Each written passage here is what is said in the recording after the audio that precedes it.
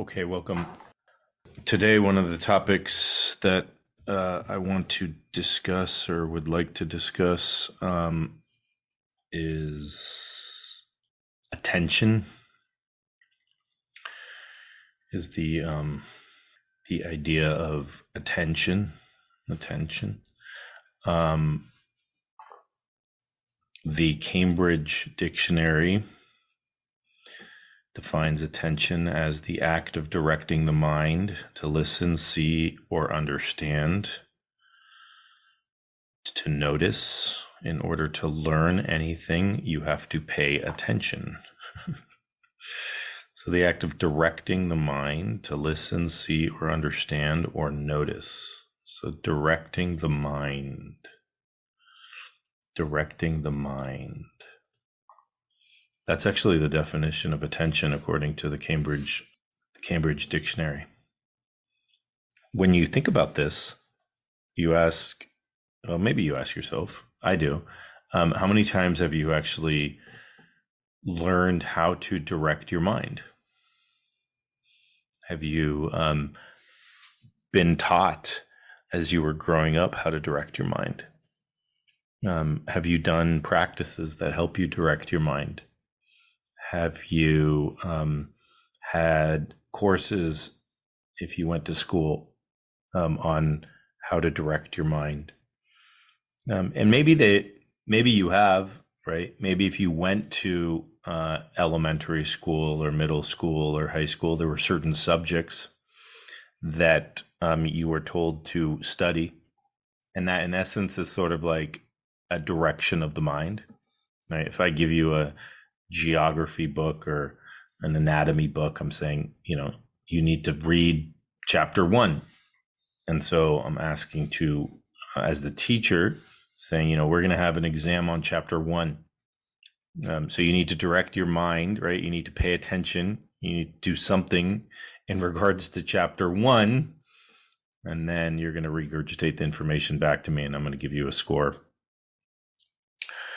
Um, we don't really think of attention, so we kind of go along life like this. Um, oftentimes, we don't really think of attention or even what it is, uh, because oftentimes it is grabbed by the external world. So it is pulled away, for instance, by the external world. So if you see anytime that you need to direct something, right, there's a um, there's a, a, a in essence there's there's a sort of like a vector if that makes sense. Whenever we direct there's a direction. Okay so we need to direct we need to instruct. It's sort of like hey you know go out that way or go over there you know go right and then turn left.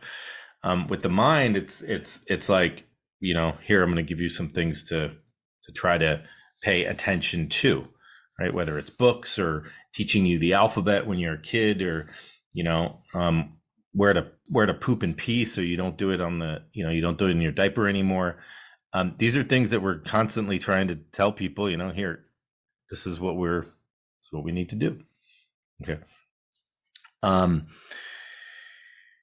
and so usually, usually, uh, there's sort of like an external kind of like an external object that is present that actually grabs your attention, that actually pulls your attention, that actually directs your mind for you. Okay. Um,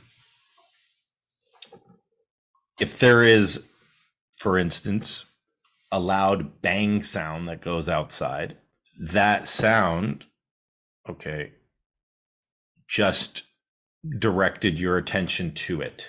Okay, you might turn, you might open your ears a little bit, assess the situation. Okay, an external, some sort of external sense, some sort of external object that is directing your mind or attention. All right, and oftentimes because we're in this type of process, we don't really think of us being able to direct our attention because we're constant it's constantly being grabbed or attained by another source by something else. The tv is on. Well the tv's on. I'm going to pay attention to the tv right.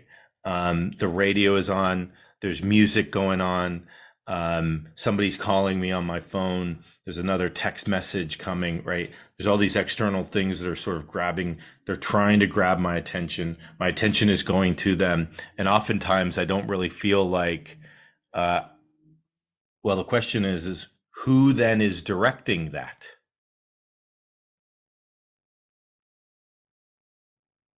Who who is directing where the mind pays attention.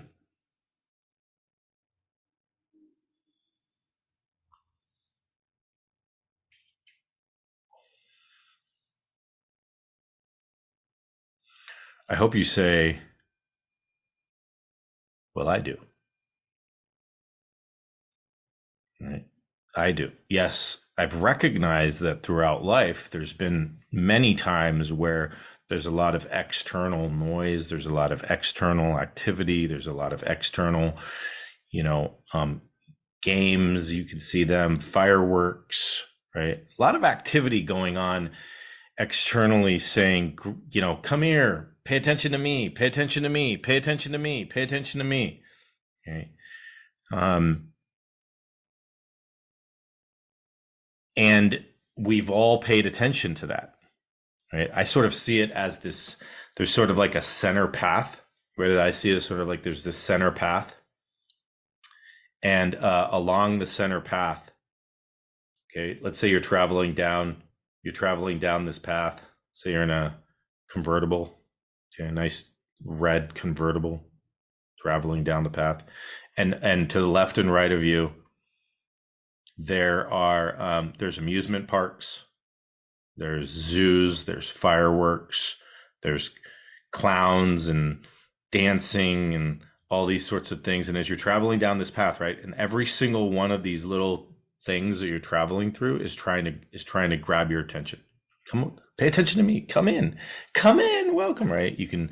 I, I sort of the the the the imagination I have is is you know like a jester, right? A clown trying to do something to you as you're traveling down this path and is trying to grab you. And we can all go into that and play in the circus or, you know, have a little fun in the magic shop or something like that. Um, but then we got to recognize that there's a path that, that that clown just or jester or whatever it is just took me off the path. Okay, this is this is how I envision it. Right. And and this is infinite. The path keeps going.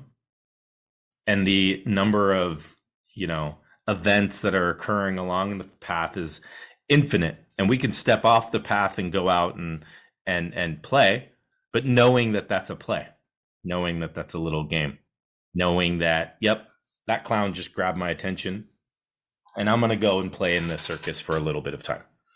That little bit of time might be a second but it might also be 50 years. Okay. Um if that right? That's an experience. We're having that experience, whatever it is. But our attention was grabbed by something, pulled off, and then we recognize, like, wow, this is what I've. I really haven't had any choice. I really haven't watched where I am paying attention or directed, right, based on the Cambridge definition, directed my mind. My mind was grabbed and I have been in this circus for the last two, three, four, five years, 10 years, whatever it is. Right. And we all go through this.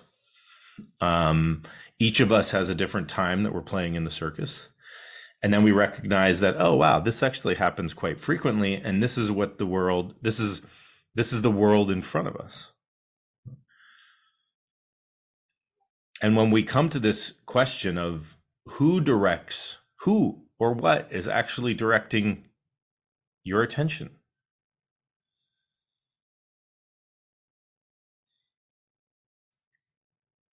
Right, and hopefully saying, Oh, I am. And you know, I do like to play with the clowns and I do like to go there sometimes. And I know that that's some experience that is a, let's say, a sensory experience that I enjoy. And so it, I go but then I come back. I recognize that that happens. Or I don't recognize that that happens. I've never understood how to direct my attention. I don't know even know what that means. Um, and therefore, every single external object that comes and tries to grab my attention, my attention goes to. And I'm often, uh, my attention is often going from one thing to the next, to the next, to the next, to the next. And I really have a hard time focusing on, in, on anything. Um, but uh, that's just what I do. Okay. Um, and so attention, right? The direction of the mind. The direction of the mind. Right? You are the director. You're the um, executive producer. You're the screenwriter. You're the director. Um, you're the, the the lighting. You are the uh, the the costumes you are directing.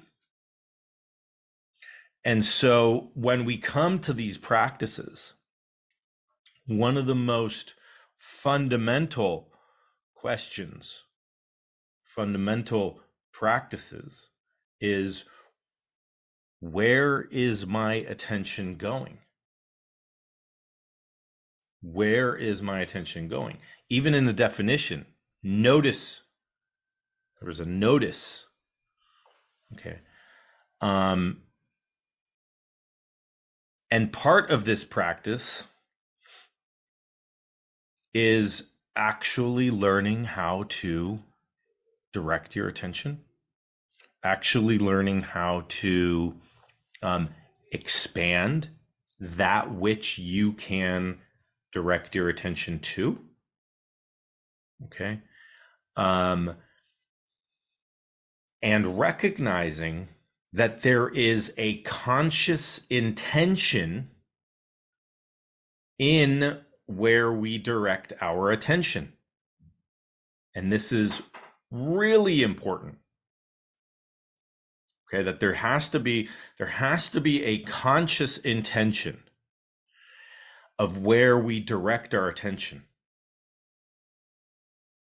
That comes from us. That comes from each one of us individually. You know, I have a conscious intention right now to pay attention to this pen. All right. That's your choice, right? You're making that choice in that moment. You're making that choice. Okay. I have a conscious intention right now to pay attention to the sensations in my hand. I have the conscious intention to pay attention to my cell phone or to any social media site, right? When you are actually directing your mind to go and pay attention to something, be very careful in terms of the intention, the conscious intention that is going. Is there a conscious intention that is going towards the direction of the mind? And what is that conscious intention? Is that going towards growth, um, unity, compassion, kindness, love, balancing of the nervous system? Or is that going towards stress, disharmony, fear, anxiety, depression, whatever it might be? All right. There's a few, um, you know, adages even in neuroscience, right? Um, which are used, which are used, right? Um, which I like, and those include, um, you know, where where your attention goes, energy flows. Where your attention goes, energy flows. Okay. Um, where energy flows, right? Uh, neural connections grow. Where your energy flow, neural connections grow. All right, so imagine that, right? where we are actually directing our attention to will actually result in neural connections. Okay. How how freaking cool is that? Also very dangerous, right? it's cool, but it's also like, "Oh my goodness.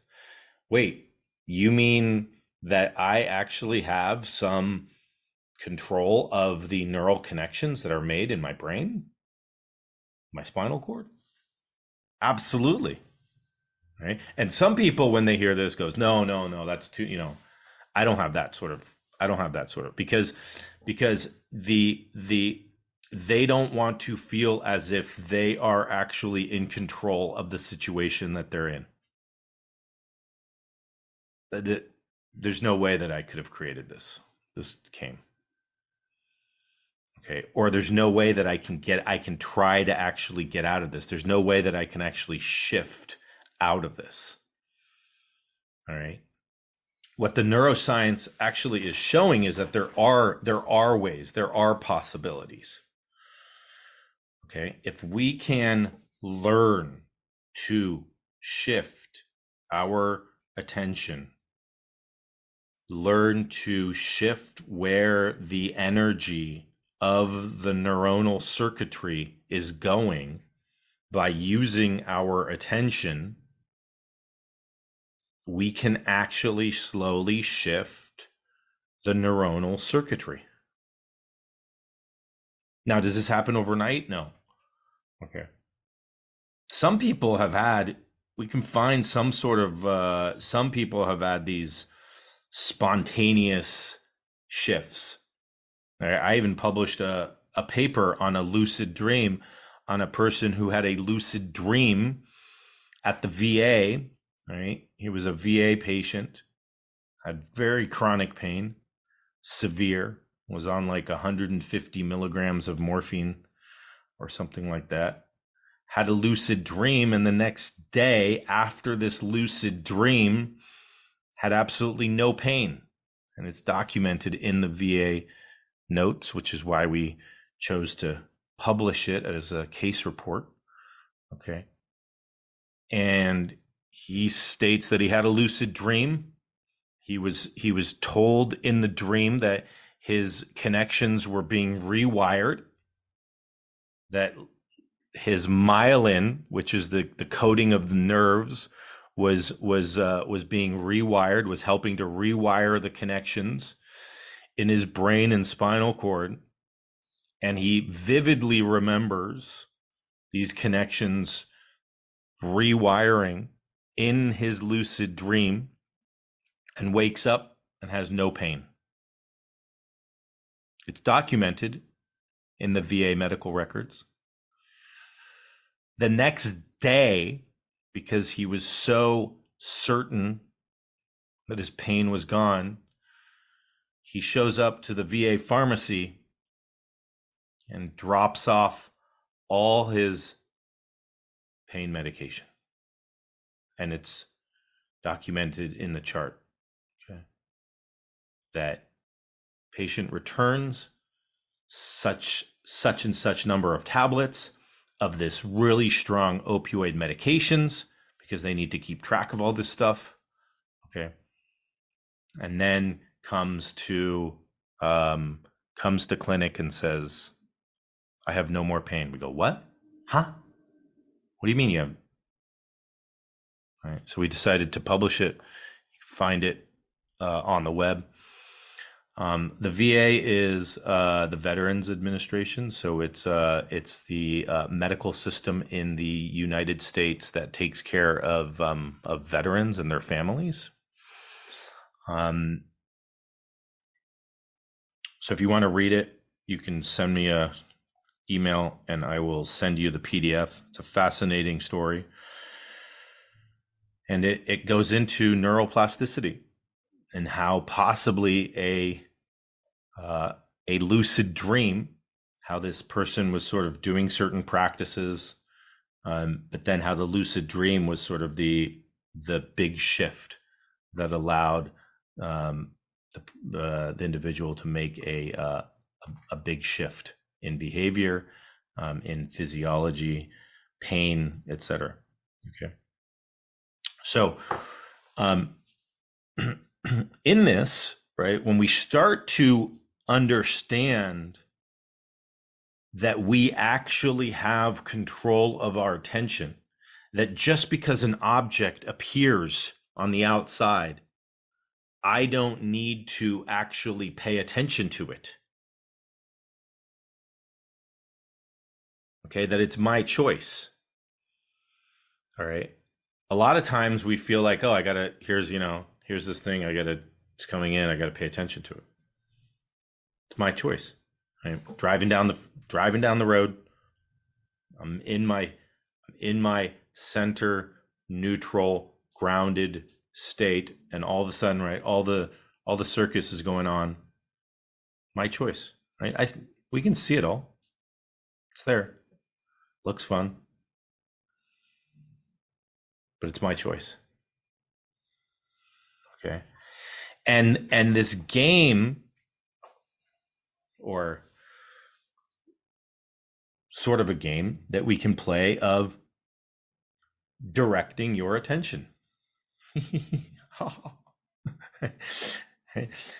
where where am I going to direct my attention to right now? Right? And every moment asking yourself that question. Where am I going to direct my attention to? Where am I going to direct my attention to right now? Where am I going to direct my attention to right now?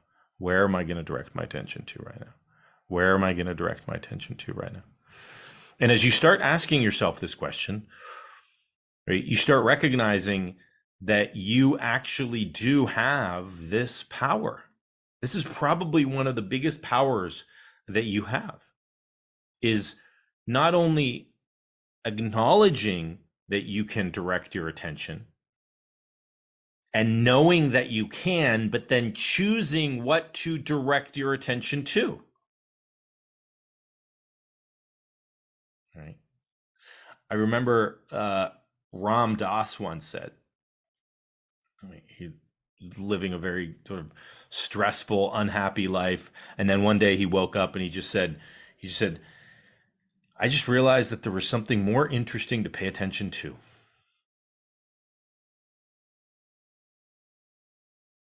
Right? It was just more interesting to pay attention to this as opposed to this. Right? So what is it, right? What is it that that we can learn to pay attention to that is more interesting for us, that is healing, that goes towards growth and light and compassion and kindness and love and unity as opposed to separation, hatred, fear, depression, loneliness. Right? What is it that we can actually learn to pay attention to? What is it that we can pay attention to? What is it that we can actively, consciously, intentionally choose to say, this is what I'm going to pay attention to? This is what I'm going to pay attention to in every moment. Not just for the two minutes that you're doing your meditation, but in every moment of the day. All right. And this is when you recognize the power of your attention. Okay. Things will start to uh, blossom things will start to change. Things will start to shift. Right? It might not be overnight. Might be. You might sleep better that night. Okay. But slowly, slowly, right? You recognize the energy of, of, of, of, of attention, right? What we give energy to, right? What we give energy to, just know it in your own experience, right? What you give energy to, what you give attention to, what happens? It oftentimes grows. Okay. So if I'm giving energy to distressing thoughts and feelings and emotions, what's going to grow? Distressing thoughts, feelings, and emotion. Okay. It's sort of like nutrition in a garden. got to you know, what is it that we're choosing to feed what is it that we're choosing to to to give energy too, right? In a garden it's the sun it's the nutrients it's water. What am i choosing to water? The plants that i probably choose to water will probably grow. Okay? As long as they're getting sun if it if it needs sun. All right the thoughts and ideas that I choose to pay attention to are probably going to grow. They are going to gain energy. All right. When they gain energy, then they have more potency, they have more power. All right. This is our choosing. This is this is under our control. Okay. Very, very, very important. Very important to understand this. Very important to have practices like mindfulness practices where we can learn to direct our attention, learn to direct our attention.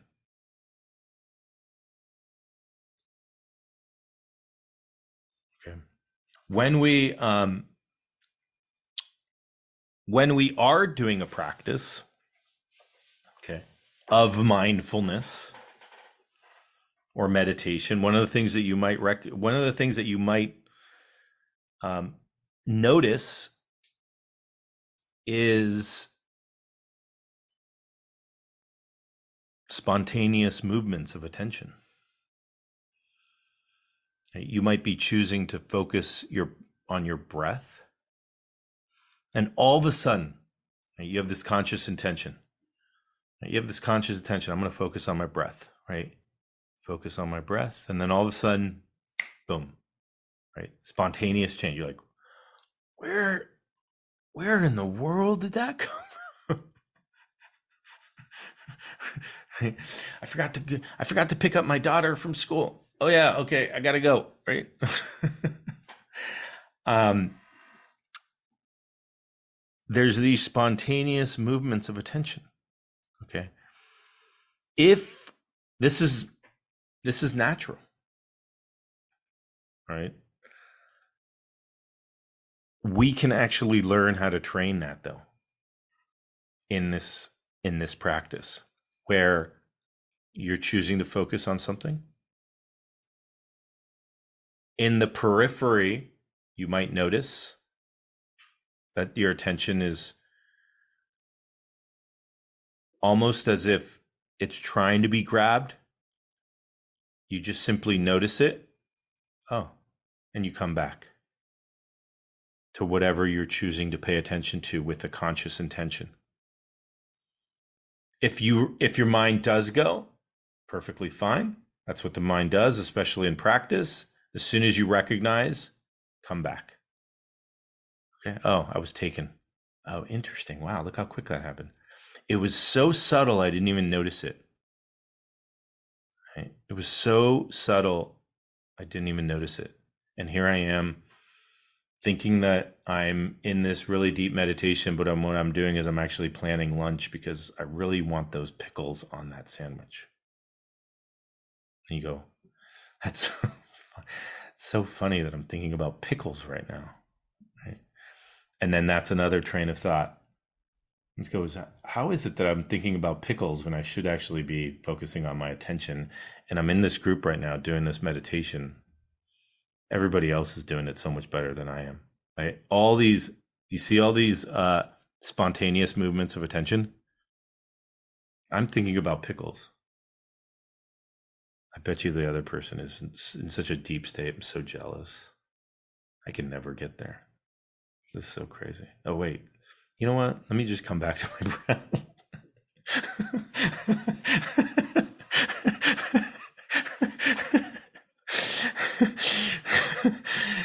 right? Comparison, judgment, my pickles, your mouth starts watering, right? You put it all away. I got to get those pickles. And everybody else does it better than me. Right. All through what was it all through, right? All through, all through a this here I am, spontaneous movement of the attention, boom, pickles, lunch takes me to this. Why am I thinking judgment of the thinking about lunch, judgment of my ability to meditate and practice mindfulness, coming back, thinking I'm doing it, putting it all down, throwing it all away, and now the pickle just grabbed, just pulled me away, and now I'm eating my lunch. All right. So noticing that is actually that's the number that's the number one step is noticing those spontaneous movements of my attention right? For short periods of time we're good. For sustained periods of time is actually when it's really difficult. What we want to try to build is really that sustained ability to focus attention. And then what you notice what happens is that we practice this focused attention. And as we practice the focused attention our attention our capacity to hold more increases such that any subtle movements of our attention or anything that comes in subtly just is no longer interesting, just exactly like Ram Dass said. Like it's just no longer interesting and it just doesn't have that power to come in. Pickles become, uh, if we need to get to it, we will get to it later. Thank you back. Okay. The thought, the worry thought, sort of like bouncing. It's almost like it's like you see it. It's kind of like, you know, your peripheral. You have the peripheral lenses. You see it, you know, it's coming in, and then all of a sudden it's like it bounces off the periphery. It's like boom,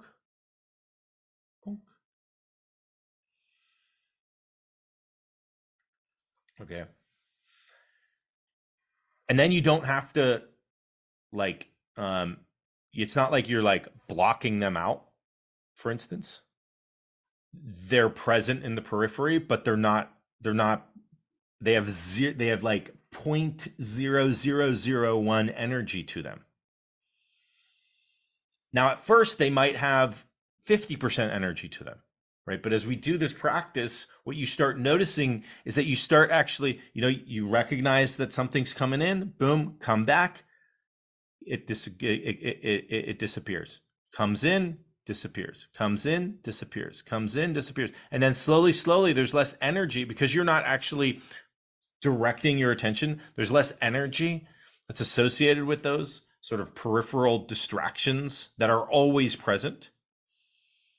And then they don't they just don't have enough energy to pull us away from our conscious attention that we're choosing to practice with okay i hope that makes sense so our um our practice today will be uh, a bit of a um of a body centered practice okay, in terms of recognizing the breath in different parts of the body, right? As we go from, okay, as we do this practice of consciously shifting where we are paying attention to to the sensations of the breath in the body. Okay that, for instance, if I ask you to pay attention to my hand right now, you can pay attention to my hand. If I ask you to pay attention to your feet and the sensations in your feet, you do something, right? Right. And now you're paying attention to your feet. Okay. The computer sounds were made up by me, but something did. So you did something, right? Where you went from my hand to your feet, right? Feet. Got it. Okay. And then you can go to your to your to you know what you're tasting right now. And you're like, oh, that wasn't I wasn't per, I wasn't paying attention to what I was tasting until you asked me to pay attention to what I was tasting, and now all I can do is taste the saliva in my mouth, which is really gross. But I wasn't even it wasn't even in that sphere of attention until you told me to, right? So that is just a perfect example of like beep beep beep beep Right? You went from one to the other to the other in two seconds. All right. So this practice is going to be about going to different parts of the body and then slowly, seeing if we can merge those parts of the body to the whole body All right. and recognizing that we are going to have those peripheral the the the the uh, you know the attention grabbers from the periphery we're going to have the circus we're going to have the plays we're going to have the jester we're going to have the clown trying to come in right? And if we go and play for a little bit that's perfectly fine. No reason to judge at all. Just come back. As soon as you recognize that you are playing just come back. Sensation in the body of your breath all right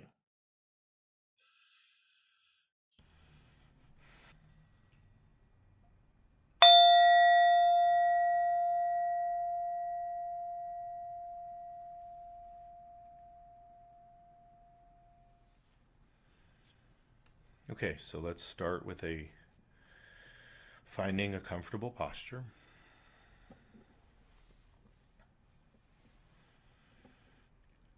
A posture you feel relaxed yet alert.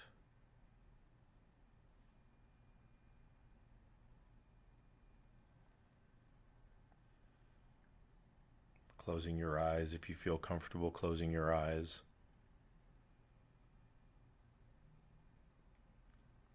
If not, having a soft downward gaze as you're gazing off on the horizon.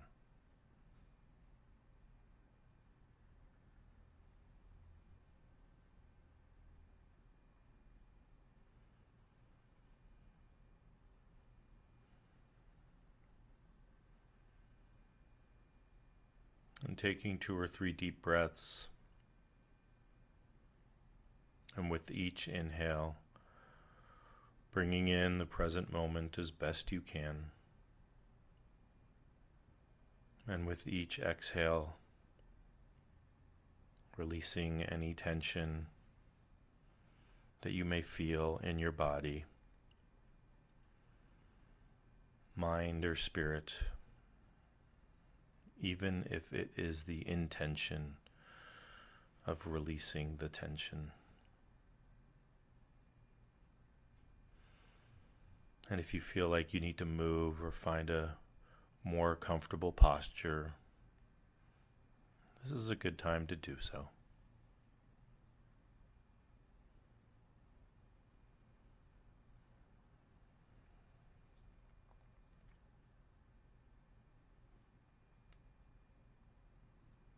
And now, with conscious intention,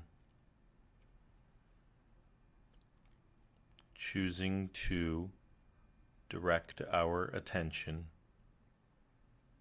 to the sensation of our breath in our belly. In our belly. As you breathe in and breathe out, what sensations do you notice in your belly.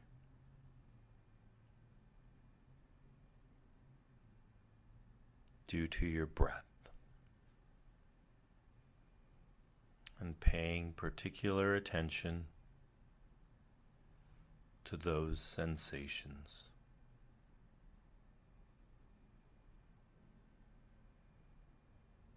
Do you notice your belly rising and falling? Is there an expansion and contraction? Do you notice any sensation in any of the organs in your belly?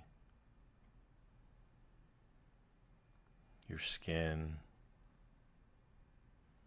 the contact your skin is making with your clothes, the sensation of that as you breathe in and out.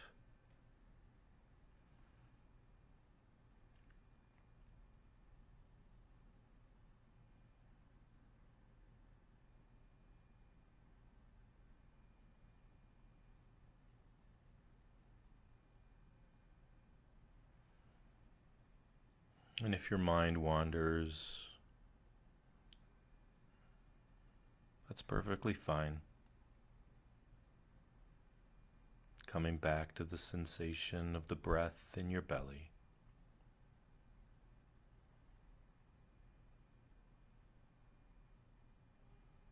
Where we're choosing consciously to pay attention.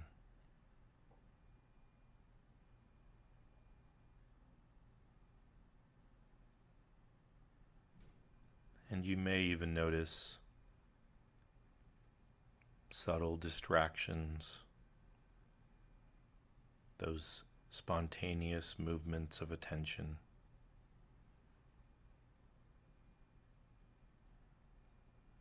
And for this practice, just choosing to pay attention to the sensation of the breath in your belly.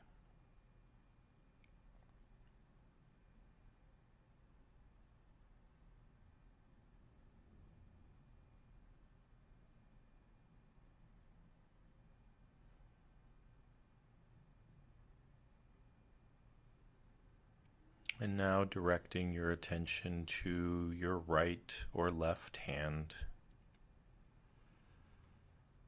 And noticing the sensation in your hand of your breath. As you breathe in and breathe out.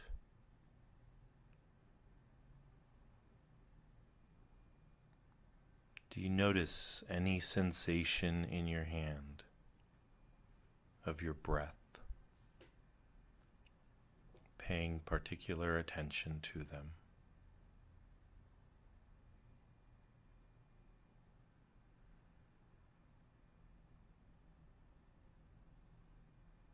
Do you notice any expansion and contraction? You notice any tingling? Any sort of sensation? And if you don't notice any sensation at all, that is perfectly fine as well.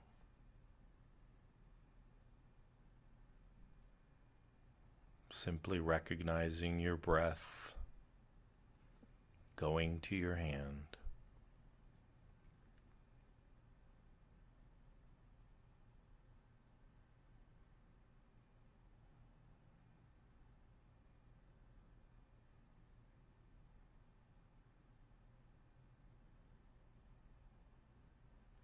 Now coming back to the sensation of your belly, of the breath in the belly as you're breathing in and out.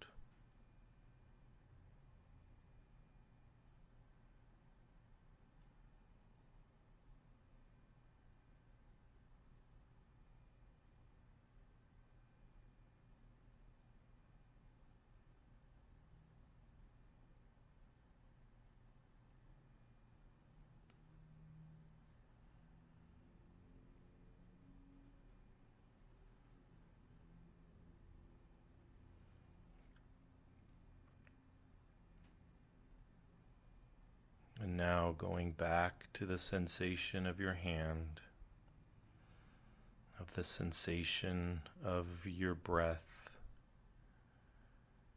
in your hand.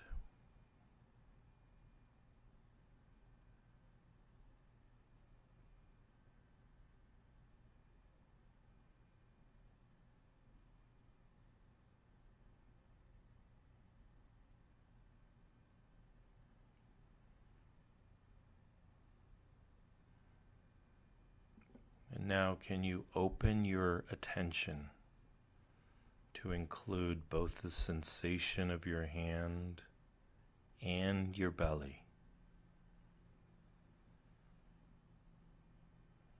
Opening your sphere of attention ever so slight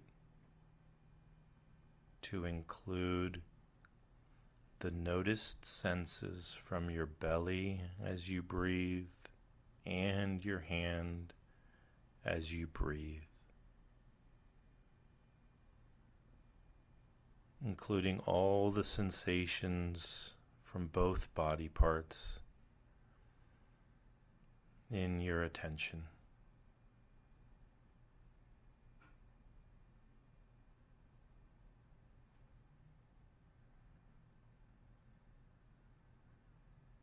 You may notice that you're going from one body part to another, and that is perfectly fine. And then you may notice that they merge, sort of a coalescing.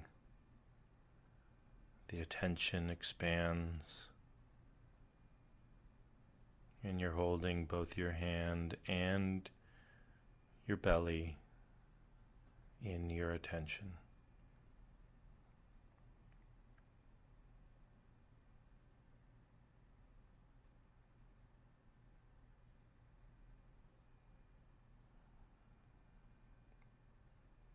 And from here, seeing if you can include the sensation from the other hand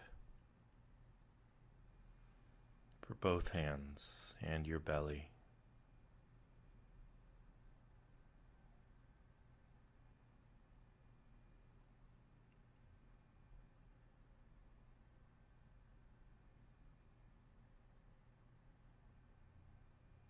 Can you increase your attention to include the sensation of your arms and your belly?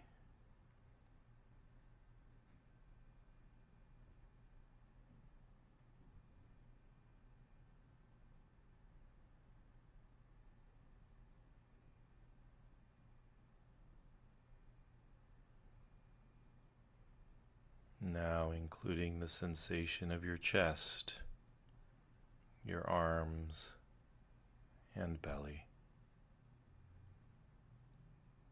As you breathe in and out,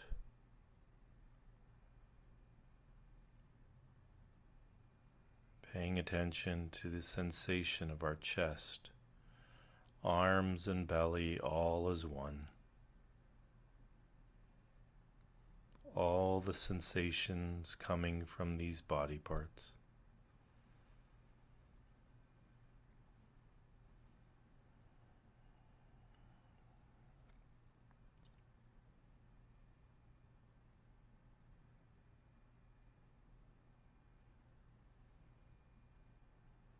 Can you include the sensation of your legs and feet?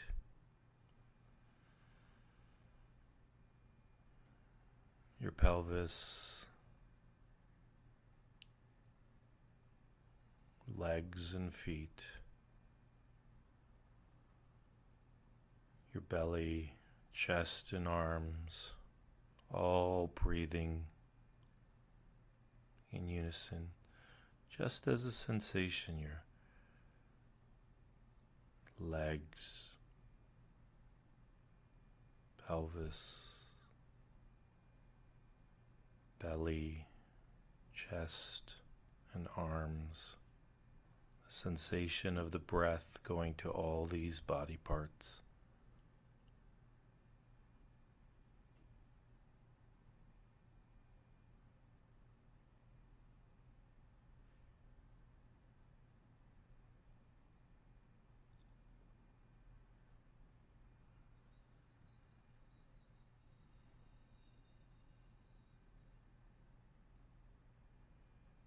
Now, including your whole body, your neck and head, the sensation of your whole body breathing.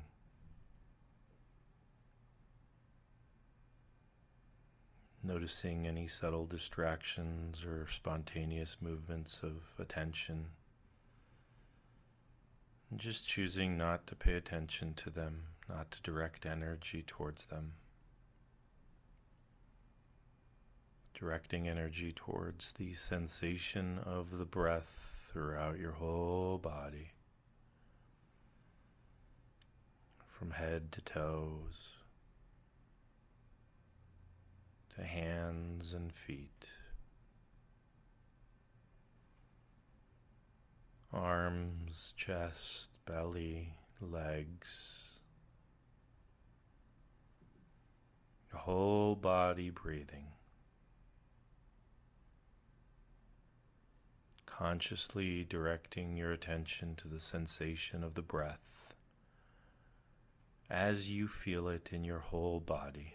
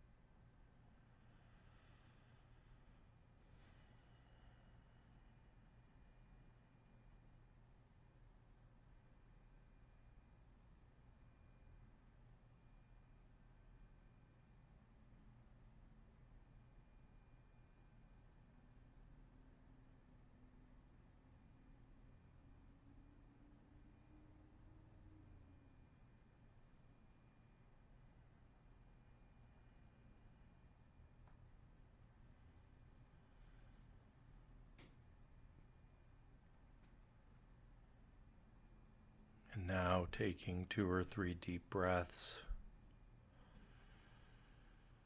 really accentuating that sensation of your breath through your body. Noticing the sensation as your breath deepens.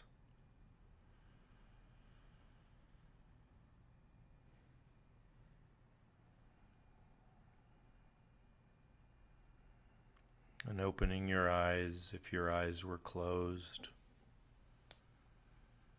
Reorienting yourself to your room and surroundings. Moving and stretching if you need to stretch. Just reflecting on your practice today.